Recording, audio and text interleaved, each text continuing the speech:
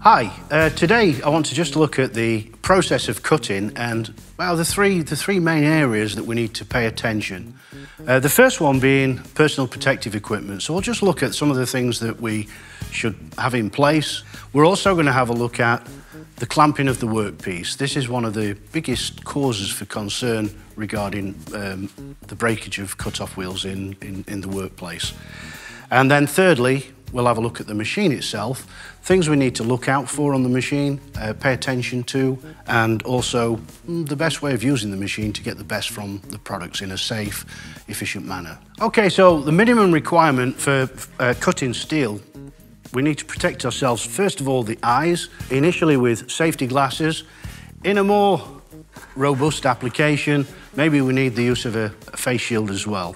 Depending on the amount of dust that's being created in the workplace, there could also be the need for uh, a dust mask or ventilation within the workplace. And of course, gloves. Gloves, um, what we're cutting and uh, if we were grinding, the materials are getting hot, there's friction, sparks, and we need to protect our hands. And of course, the last and final thing is the hearing protection. Because we create a, an amount of noise, then if the decibel level is above 85 decibels, then we do need to wear ear protection. If it's uncomfortable, wear ear protection. Okay, the second part, the second most important part is actually securing the workpiece. Any movement allowed in the workpiece can cause a danger of a wheel breakage. So it's very important, even with thin materials, when we're cutting thin materials, we clamp near to where the area we want to cut.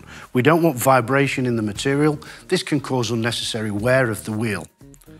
With a, a solid piece like this, we can clamp this into a vise, so we have a very solid, stable working area. Okay, the third part that I want to just go through is the cutting itself and fitting the, the wheel to the machine. Now, I know with my own experience, sometimes it's very easy when, when you're cutting to be tempted to use the same wheel for grinding. This is very unsafe. Uh, the, the cut-off wheels, they're not designed to take on the lateral loads of traditional 6mm grinding discs, for example. This product here is a dual-purpose disc. This is safe to cut and grind. It takes on a lateral load of 290 newtons, which is the same as a grinding disc. The first thing we need to do is check the speed rating of the disc. This is 12,200 RPM against that of the machine, which is 11,000 RPM. So it's safe to fit onto the machine. You'll note that whilst this is being fitted, the machine is unplugged. And that's so we don't have any false startups. All we've got is hands close to the disc. So from there on, I can toggle with my earplugs and uh, gloves.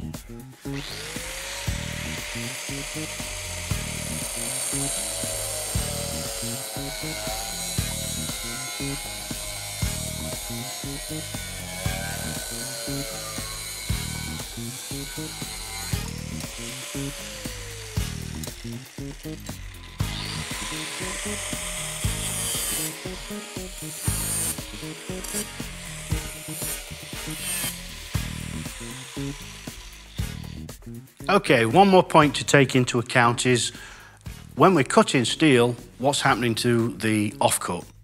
We need to be mindful of what's happening because it needs to fall away. Working on a small edge like this, the, the waste material is very light and small. Let me turn the material round. On a heavier section like this, if we're cutting through the material, we want it to open up. So the cut opens and it doesn't clamp against the disc. If we're in an awkward position and maybe the workpiece is higher up, it can be tempting to go from the bottom. This is very, very dangerous. If you cut from the bottom, this acts like a brake against the disc and it will clamp the disc.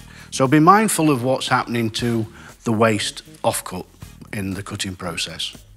To summarise, it's all about the three, three main points, one being the PPE that we wear, to protect ourselves, eyes, ears, and protective clothing. The security of the workpiece itself, making sure there's no movement of the workpiece whilst we're in the cut.